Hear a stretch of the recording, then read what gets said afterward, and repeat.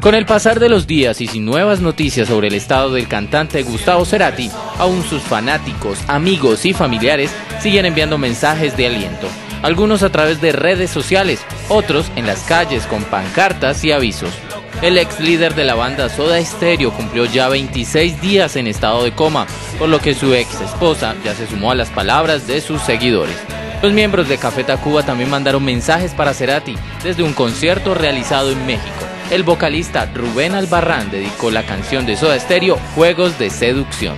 Los fans han expresado sus máximos deseos de recuperación y de admiración para Cerati en una serie de mensajes a través del Facebook y del Twitter. Es más, estos fervientes seguidores no se conforman con el desalentador pronóstico de su ídolo. Es por eso que han convocado una cadena de oración para la mejoría de la salud del músico para el próximo domingo en el Planetario de Buenos Aires.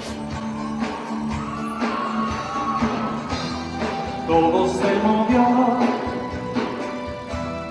y es mejor quedarse quieto.